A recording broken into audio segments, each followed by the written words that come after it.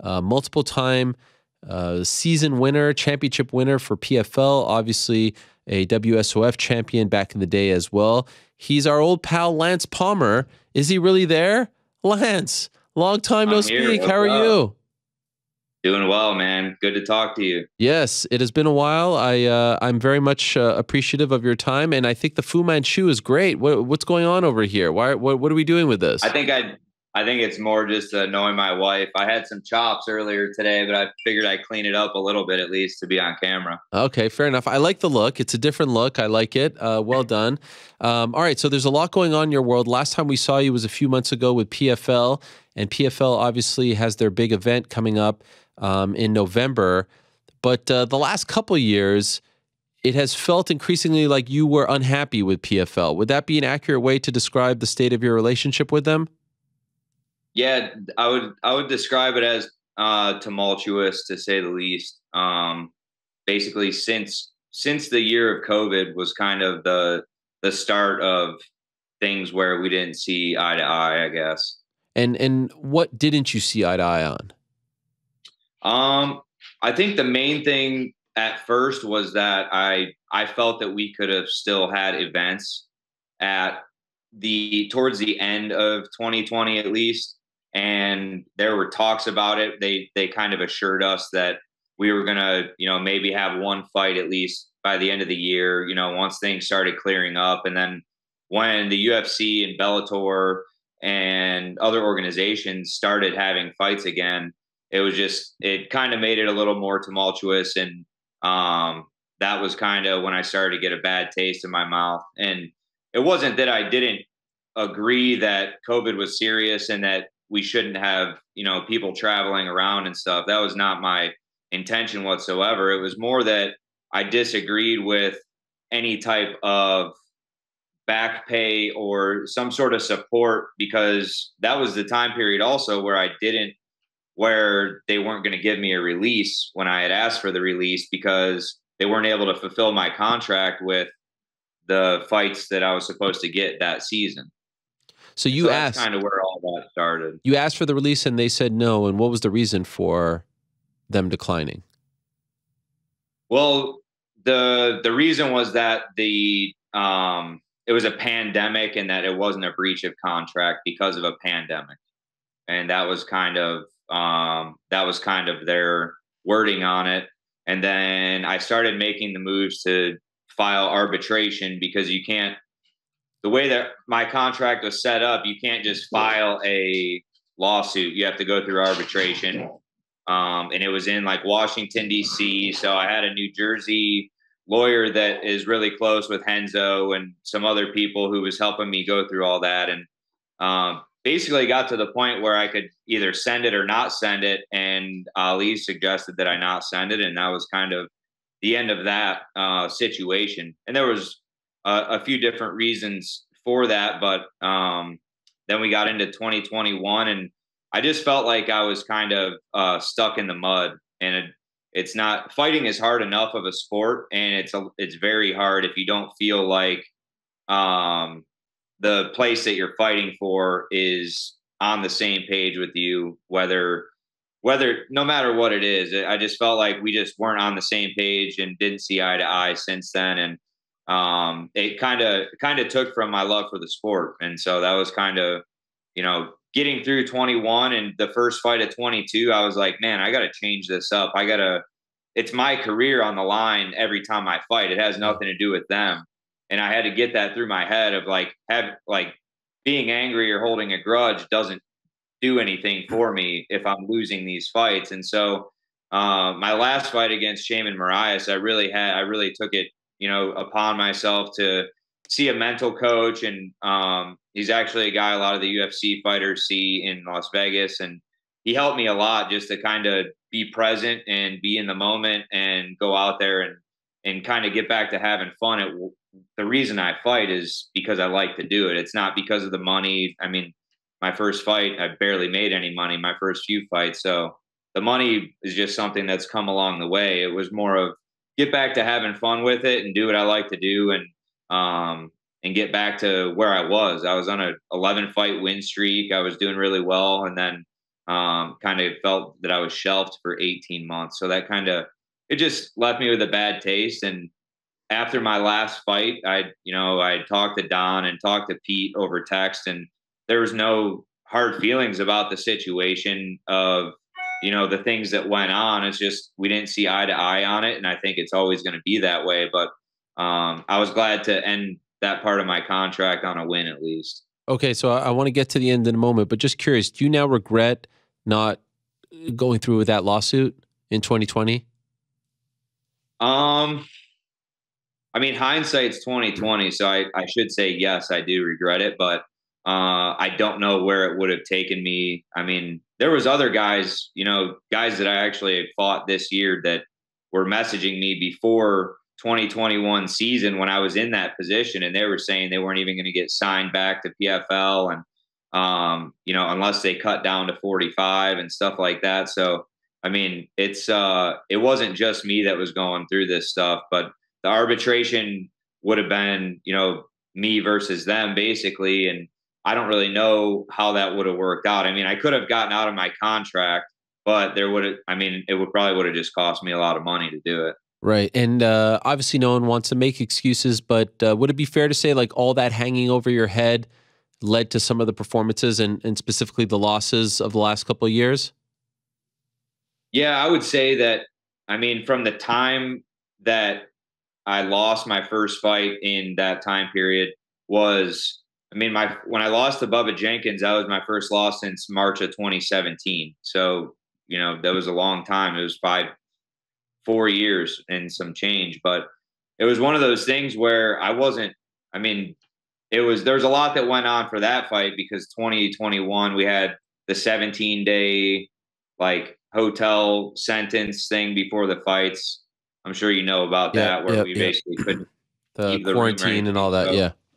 Yeah, like I had no coaches or anybody with me. I was by myself for that whole period. And so, on top of all of the feelings I had before that, I'm sitting in a hotel this whole time in Atlantic City, just like stewing and like being angry that we have to go through this protocol of like getting tested every day for COVID and sitting in our rooms and having to like DoorDash all of our groceries or whatever, you know, yeah. that whole time period. So that didn't help my cause at all. Like my mentality towards everything just was like, by the time I weighed in, I wanted to go home. I was like, and I had a newborn at the time. So I was like, dude, I'm sitting here in this hotel and I just felt like, I don't know, I just didn't, I felt like all the cards were against me at that point and I just wasn't in love with what I was doing at that time. So I, I would definitely say it had a lot to do with my performances. Uh, as you mentioned, though, uh, you you did end on a very strong note this this year. Obviously, you wanted to get to the finals win the million dollars, all that stuff, but you did end on a win. So now is your contract up with them? Are you a free agent? Yep, unrestricted free oh, agent. There it is. Wow, I didn't notice that. Uh, that is big. Okay, so you are a free. That was the last fight on your deal. Yep. Uh, I would imagine. Correct me if I'm wrong. Do, do you uh, do you have any interest in resigning, or do you want to go elsewhere? I honestly, I don't think they have interest in re-signing me. So it kind of gives me the freedom to do whatever I want to do. Um, obviously, I have interest in going other places, and there's a lot of fights that I would like to, you know, get involved in. Hopefully, to you know, push myself over these this next run of wherever it is. But um, I mean, the Bellator featherweight division is stacked. The UFC featherweight division is stacked, and even after winning 2018 and 2019 seasons, I still feel that I didn't get any credit for it as far as like the guys that I beat because nobody knows who they are. And you can you could be the champ of any organization, but if it's not the UFC, you're really not going to get the you know the notoriety of being a world champion. And so that kind of was something that was looming as well. Is you know, I've made a lot of money fighting for PFL over the last few years, but it's also like I didn't come to this sport for that reason. And it, it's great that it happened that way. And I've taken a different route from a lot of people. And I think like I was just on the phone with Eddie Alvarez last week, and you know he's a guy who took a different route. Also, I mean, he was in Bellator for a long time, and then won the UFC title, and then went to ONE FC, and you know now he's might be doing some other things. So it's like all these different avenues that I've taken from the beginning. I mean, I haven't really been an actual free agent since I signed with World Series of Fighting in 2013. So wow. it's been like it's been a really long time since um, you know, there's negotiation phases and things yeah. like that, but not like an actual unrestricted free agent. So it's it's interesting because I remember even talking about your situation a couple years ago, um, and I think at one point you thought I didn't like you, which was never accurate. Just for the record, I want to put that out there. Uh, obviously, have a lot of love for the alpha male guys, and uh, all of you are are incredible and, and and legends of the game. You had benefited greatly from the PFL model, and you were probably one of the highest earners at 145 in the sport, right? Because you would go through the tournament, you would win back to back. You're you're getting a million dollars in addition to your your purse. Uh, but yet it didn't seem like you were a household name, or at least the uh, the guy that should be getting the credit for those wins. And so when you look back on your time with the PFL, do you, do you look back with fondness? Do you do you, do you wish you you didn't stay as long as you did? How do you look back? Because on the one hand, it's it's the prize fighting business, right? Make as much money as you can, but on the other hand, you you didn't get that notoriety and recognition that some of the UFC guys are getting. I feel, I mean, I, I also didn't really get into the sport for popularity, but I also like, you want people to like you. You want them to watch your fights. You want them to like your style. I feel like that some people just don't like my style because I'm more of a grappler than a striker. And even though I stand in my stand in my fights and and I'll box and kickbox with guys obviously my bread and butter is my wrestling and my grappling. So when I want to win a fight, I'm not going to go out there and just stand 50 50 with a guy and just swing for the fences just for the views. Right. And so I think that's something that has kind of pulled from my notoriety is my style of fighting. People don't appreciate it unless they know the ground game. And that's kind of one thing as well. But I do look back with fondness on the 2018 and 19 seasons because I feel like that's before that 18 season, there was a lot of people that didn't believe in PFL. And there was a lot of people that didn't think PFL was going to pay at the end of the year. Right. And I know Jon Fitch was one of those guys because I had talked to him a bunch over the phone. And that was, he never ended up signing with them because of that reason. And there was just a lot that was going on during that time. In 2017, I actually fought Steven Siler at the very first PFL event, I guess it was in Washington and it was like a black tie event. There was like a bunch. It was in like a cigar room. Like this, you couldn't even see in the cage. Like there was smoke everywhere. and it was like the first event for PFL. And after that event, I was like, dude, there's no way that they're gonna be able to like put on a production that's gonna make any money for anybody. And I just, you know, I stuck with it because I believed in it, and I believed in. Uh, Carlos at the time was running the show, and Ray was still there, obviously, but um, those guys were they were genuine good people, and obviously Ray Sefo, I love the guy. I'm in the gym with him in Vegas a lot, um, and he's always been straightforward with me. He's always been he's always had the fighters' backs because he understands the fighters' side of things. Um, but also, you know, they're it's a business too, so he has to you know kind of play both sides. But those guys were they were the first season, and that was like really genuine business deal the whole time. Like everybody was really good.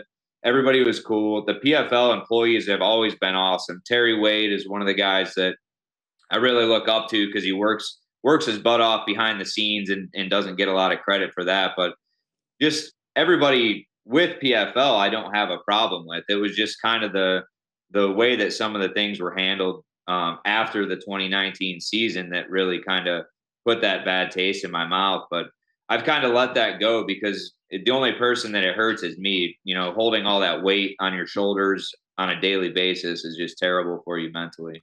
How do you feel now seeing them sign all these names? They're they're very active these days in the uh, the free agent market. How do you feel about that? Yeah, it's awesome. I saw they uh, signed Shane Burgos, and um, that was a fight that I've always looked forward to um, in the UFC. I was like, man, if I ever sign with the UFC, I'd love to fight him. He's an exciting fighter. Um, I felt like I had some areas that I would do really well with him in there. Um, and after like Josh Emmett's one of my, you know, longtime friends. He's a guy who we both started at the same time together and seeing his success in the UFC also and watching their fight. And I'm just like, man, it's, it's cool that PFL signed him. um, and that they signed Marlon Moraes too. That's that's going to be a good fight. And you know, I was looking forward to actually fighting on the finals card, but you know, when they were, I was like, oh man, maybe they'll give me that fight, even though my deal is done. Maybe I'll get a like a bridge fight and then renegotiate or something, and that would have been really fun to do. But um, you know, that just wasn't in the cards. So, uh, have you talked to any organizations? Or are you are you out there yet? Where, where do we stand?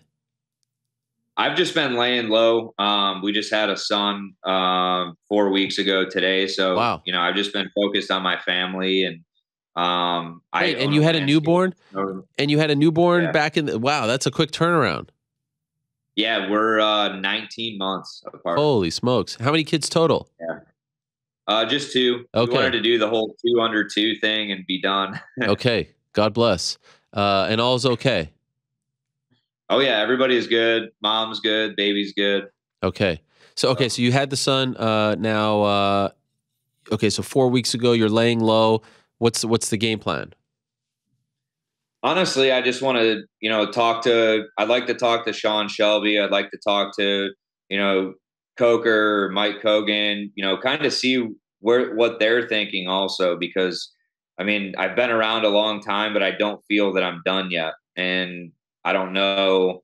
You know, I've had talks with different people, and they're like, "Man, you've done really well. You've made good money." But for me, it's not about the money as much as it is about proving that I can hang with these guys and that I am one of the best in the world. And I've never really gotten the opportunity to do that because when I did win those two seasons, I fought guys like Siler and you know, Almeida, who were all tough guys, but they're people that if you're not a UFC vet or somebody who's involved with the UFC, you don't they don't really know what to gauge you on.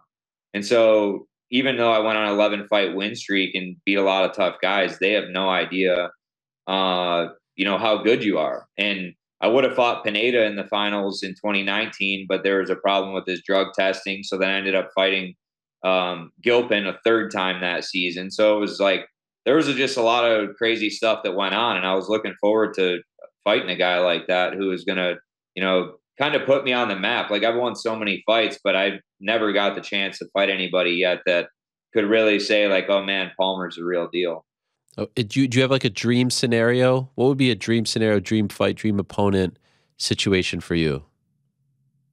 I mean, I've always like a guy that I look up to and you know I follow on Instagram, and I've always loved his fights. Was Max Holloway? Oh man! And when he was the champ for you know, I mean, I still consider him a champ. He's a once a champ, always a champ in my book. But he's uh he's one of the guys I really look up to in the featherweight division in the UFC, and he's a guy that I would love to fight. Um, you know, if if the opportunity came, but he's a guy who's you know he's a super dangerous opponent. He's really good striker. He's really good on the ground as well. You just don't see it as much because a lot of his fights are on the feet. Um, you know, he's a guy who's he's young, but he's been in the game for a long time. So I mean, he's he's a seasoned vet, and that that would be an awesome fight. I mean, I, I respect the guy a lot, but yeah, I would love to fight him at some point. That would be cool. That would be incredible. Yeah, and you guys were on top uh, at around the same time, so that would be uh, a fun full circle moment, if you will. Any advice that you would give to a younger fighter? Like, do you feel? obviously, I think you've learned a lot about the business of MMA over the last uh, almost ten years. If a fighter asked you, like, "Hey, like, what type of wisdom would you impart?" Anything that comes to mind that you've learned, especially in the last couple of years? Yeah, I would just say go with your gut feeling on things. Um, you know, whether it's that you're ready to make the next jump or you're not ready to make the next jump, just you don't always have to listen to what other people are telling you to do. You can you can make the you can make the jump or not make the jump or if you need a few more fights before you hop into the next stage of your career, I feel like that's something you should do because I took a route that not a lot of people chose. I mean, I was RFA champ and then went to World Series of Fighting instead of the UFC at that time and um, you know, that was just a decision that the UFC wasn't an opportunity opportunity for me at that time period. So I just went with what I could do. And, you know, it's not always about who's going to give you the most money. Obviously, everybody wants to make the most money they can. But I think when it comes down to it, it's, you know, do what you want to do. Why'd you get in the fight game? Like, what's your reasoning? Some people just want to get super popular and you know be a household name. Some people want to make a ton of money. Some people their only goal is like, man, I want to be a UFC fighter, and just whatever your goal is, just stick to it. Because my original goal was to be UFC champ when I first started fighting. I had I still have the UFC belt on my background of this computer because I've had this computer so wow. damn long. But that's uh like that was my goal from the beginning, and it still is my goal. Whether it accumulates or comes to fruition, that's you know only time will tell. Because one, the UFC has to like me enough to sign me, and two, um, I got to win fights. So I'm still far away from that goal, but that's still a goal that I I probably won't be comforted comfortable about unless I get the opportunity to at least go for it. Will you feel like you're despite all the money and the championships and all that, will you feel like your career was somewhat incomplete if you at least don't get the chance to go for it? Maybe not ultimately you don't know if you win it or not, but at least like get yeah. in the door there. Yeah, I feel like um I mean I feel like I've done enough outside of the UFC to be able to give myself a shot or a fighting chance and obviously, as far as fight pay goes and stuff like that, I know I'm not going to make what I was making in PFL, and that's that's something that, and I wasn't making a crazy amount compared to what these new signees are getting. So it's not really out of the question to get somewhere near what I was making per fight, but um, for me, it's more about the actual fights itself. Like the the journey of being a fighter is not always just about the money and just about the fight purse. I mean, yeah, like you said, I've I've made good money, but I I don't feel like it'll be complete unless I at least get the opportunity or you know they give me a chance. It you know even if it's one fight, I'll take a one fight. Yeah, yeah, yeah. All right. Well, I wish you the best. Uh, congrats on a great run up until this point, and and hopefully this uh, free agency period proves to be worthwhile and, and fruitful for you. And uh, hopefully you get what you want. And uh, I think longtime fans would love to see you get that shot in the UFC and, and see how you stack up with those guys. You'd be a great addition to the Bellator roster or the UFC roster. So good luck. Keep us posted, Lance. All right. All the best to you. And I will for thanks sure. for coming on. It was good talking to you. Yes, Long sir. Time, no talk. I'm glad we got to chop it up. Absolutely. Stay in touch, my friend. Will do. All right. There he is, Lance Palmer, uh, former PFL tournament champion